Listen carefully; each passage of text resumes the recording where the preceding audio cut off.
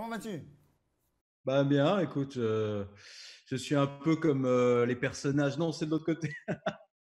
les personnages de, de mon, euh, de mon tableau derrière, on est tous en train de débarquer dans une, un peu dans la quatrième dimension. On est en train d'explorer un monde nouveau qu'on n'a jamais connu. Hein, cette situation de confinement, on est tous des congénères confinés. Et c'est sûr qu'on doit s'adapter. Alors, toi, ta spécialité, c'est tout ce qui est autour de LinkedIn, le social selling. Et en gros, bah, comment on fait pour que les, clients nous achètent plutôt que ce soit nous qui allions les, prospecter Et déjà, en préambule, avant de faire ton intervention, qu'est-ce que tu as constaté, toi, dans ta réalité euh, Est-ce que c'est le moment d'aller déranger les clients? Non, euh, clairement non. Alors, les entreprises actuellement, euh, depuis hier, sont, et même lundi, sont en état de choc. Hein. elles sont complètement désorganisées. Leur priorité, c'est de euh, de revoir les, priorités, de, revoir les rôles, les attributions des uns et des autres, de mettre en place les conditions du télétravail pour ceux qui, et celles qui peuvent être en télétravail. Et il y a pas mal d'entreprises qui ont des collaborateurs qui ne peuvent pas être en télétravail. Donc pour l'instant, grosso modo, c'est le chaos. C'est le chaos un peu partout. Et euh, effectivement, euh, se, mettre en, mettre en, se mettre en mode prospection classique et aller embêter entre guillemets ces managers qui sont un peu perdus, qui sont dans cette situation de chaos, c'est pas une bonne idée. Alors, effectivement, on peut compléter, on en a vu des tonnes, on en voit tous passer sur les réseaux, euh, voilà, ce qu'on appelle le newsjacking, c'est-à-dire ça va mal, donc je fais exprès, euh, je profite de te faire euh, une offre méga top, machin, je sais pas quoi.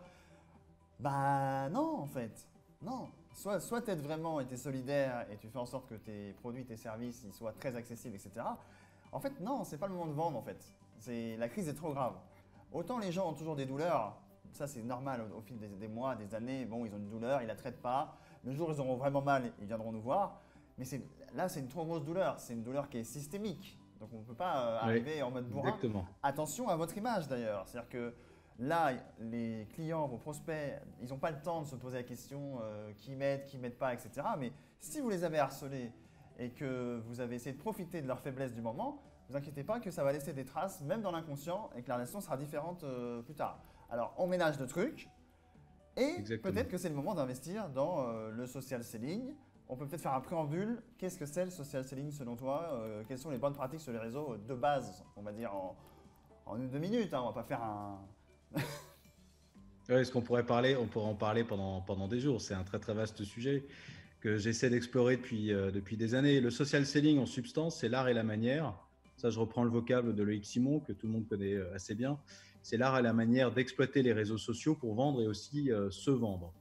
Euh, donc finalement, c'est faire des plateformes digitales, un, canal, euh, pas seulement de prospection, mais aussi de lien client, de, pour resserrer le lien avec les clients et pour faire ce qu'on appelle aussi des ventes additionnelles ou des ventes croisées. En B2B, par exemple, la plateforme sur laquelle on est en ce moment, c'est LinkedIn. Mais le social selling, c'est finalement tous les outils et plateformes digitales. Effectivement. Et donc, Aujourd'hui, la plupart des gens, donc ceux qui n'ont pas le choix, et on les resalue encore, soit parce que c'est vital, c'est de l'alimentaire, soit c'est des personnels soignants. Merci d'être compétents, de vous donner. Euh, voilà, si on peut vous aider d'ailleurs par rapport à la Flex TV, on le fera. Merci. La plupart des boîtes qui, bah, aient le choix ou pas, se retrouvent aujourd'hui en télétravail. Il y a donc des tâches qui ne peuvent plus faire et d'autres qui peuvent faire. Et peut-être que c'est le moment de penser un peu méta et de penser un peu euh, peut-être création de contenu. Euh, voilà. Selon toi, qu'est-ce qu'on peut comment on peut profiter de cette période Peut-être pas maintenant, mais dans les prochains jours, une fois que ce sera un peu euh, calmé.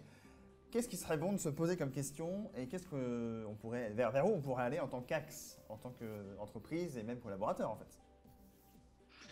Oui, tout à fait. En fait, il faut dès maintenant, enfin idéalement le plus tôt possible, raisonner rebond, parce qu'il va y avoir un rebond. Euh, il faudra donc être en condition de profiter au maximum de, ce rebond.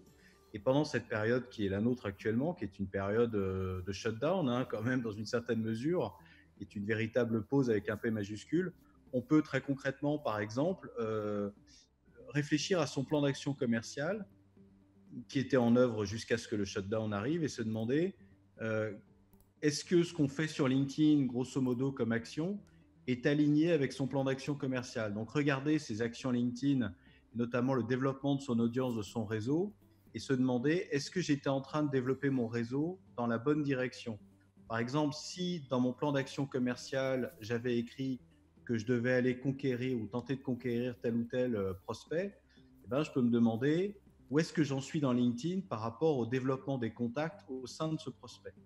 Euh, tu évoquais la question du contenu, ça aussi c'est effectivement une avenue très intéressante, enfin vitale même, hein.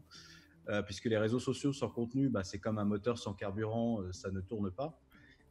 et donc c'est vraiment le moment de prendre du recul par rapport à sa, sa stratégie contenu, de réfléchir peut-être à des contenus un peu plus sur le fond, parce qu'on a tendance à faire un peu des, des contenus fast-food qui se consomment vite, qui s'oublient tout aussi vite. Et là, on peut se demander, mes clients, mes prospects, comment je peux construire, élaborer des contenus de fond pour leur apporter un maximum de valeur. Et aller vraiment beaucoup plus au fond des choses que ce qu'on est capable de faire en temps normal, simplement parce qu'on on manque de temps. Alors, pour les gens qui sont un peu newbies avec la logique de création de contenu, je vais te faire un cas, tu vas me dire ce que tu en penses. Euh, c'est trop bien, en ce moment, moins 20%, promotion sur mon super aspirateur K22 bis. Euh, rejoignez-moi sur le site web. Qu'est-ce que tu penses de ce type de contenu qu'on voit passer tous hein, sur les réseaux? Eh ben, C'est du contenu 100% euh, promotionnel, hein, c'est du contenu nombriliste. Euh, j'ai vécu 11 ans au Québec et au Québec, on appelle ça du contenu pétage de bretelles. Hein, c'est du contenu vraiment. on se vante, on dit pourquoi on est les meilleurs et on cherche à, attirer le prospect, à le, à le closer. Et en fait, ce que je pense, c'est qu'il faut, faut, aller au maximum vers du contenu de contribution et non pas du contenu de, de, promotion. Et en fait, le bon social selling consiste à contribuer à faire euh, cheminer nos interlocuteurs à travers de, pas seulement du processus d'achat, du parcours d'achat, mais également à, à, travers tout le parcours de, de réflexion que l'on mène. Euh, par exemple, si euh, quelqu'un qui va acheter un appartement ou une maison, euh, eh ben, il n'y a pas que le parcours d'achat, il y a aussi tout le parcours d'apprentissage qui commence bien en amont, où il y a des choses à apprendre, à comprendre, et sans lesquelles on, ne passera tout simplement jamais à l'achat. Donc il faut éviter le contenu de bretelles, surtout si on en fait énormément, parce que alors là, on fait pas du social selling, on fait du social boring, c'est-à-dire qu'on on devient une sorte de commercial des cavernes, de social bourrin sur LinkedIn ou sur les autres plateformes d'ailleurs. Et euh, c'est à proscrire, et surtout dans la période qui est la nôtre actuellement. Et quelque part, ça rejoint un petit peu le propos de, Renaud euh, de, tout à l'heure, qui était de dire les murs se cassent, il espère que les murs vont rester cassés. Et en fait, peut-être que les murs, c'est simplement qu'on est tous des êtres humains euh, autocentrés. On pense à nous, on pense à moi j'ai besoin d'eux, moi je cherche à, j'ai envie d'eux. Et, en fait, on pense jamais à bah, nos clients, eux aussi ils pensent comme ça. Et donc la solution un peu maligne, c'est peut-être de se mettre à leur place et de leur apporter euh, la solution à leur douleur, peut-être de leur expliquer comment la soigner eux-mêmes. Et ensuite, soit ils le feront, soit ils n'auront pas assez de temps ou ils auront vu qu'on est un expert et du coup, ils, bah, ils mm. feront appel à nous. Est-ce que tu, tu, valides ça? Oui, euh, le mot-clé, le mot d'ordre, c'est la générosité, c'est le partage. Je pense qu'on ne donne jamais, euh, jamais assez. on est tous des producteurs d'idées, on élabore des concepts, on si on est capable d'empathie et, on, se met aussi à la place de, nos clients euh, et, on se demande euh, qu'est-ce que si je suis un client, si je suis un des clients que je veux avoir, qu'est-ce que je dois comprendre, qu'est-ce que je dois traiter, quelles préoccupations je dois aller euh, investiguer pour être en mesure d'atteindre mes objectifs? Et plus nous, en tant qu'accompagnateurs, partenaires, experts, eh bien, on amène cette valeur, euh, plus on ancre quelque part dans le radar mental, entre guillemets, de notre interlocuteur cible, qu'on est la bonne personne vers laquelle se tourner euh, quand, euh, quand, on, quand, on en sera là, quand on sera au point de bah, ça y est, c'est bon, maintenant je vais acheter. Non, vraiment, c'est la générosité qui pour moi est un, est un mot-clé et puis une, une, authenticité dans la générosité. Il ne faut pas que ce soit de la générosité calculée. Il ne faut pas avoir peur de donner. quoi. Voilà, alors c'est vrai que c'est un discours qui est peut-être plus facile à faire euh, quand on est indépendant, quand on est déjà leader. Dire qu'à faire, ouais. Après, c'est un cap quand même à passer parce qu'on se dit, mais si j'explique tout, euh, qu'est-ce qu'ils vont m'acheter au final? Et peut-être qu'on aura l'occasion au fil des semaines, au fil des mois, là, alors j'espère pas les mois, mais au fil des semaines, de reparler de tout ce qui est marque employeur pour les moyens, les moyens groupes, les grands groupes, qui sont en fait d'autoriser enfin chaque collaborateur à pouvoir avoir un message, son message, et à parler de la boîte, des services, de pourquoi il fait les choses, etc. J'espère qu'on aura l'occasion de se retrouver une nouvelle fois, Antoine. Merci d'avoir contribué en tout cas.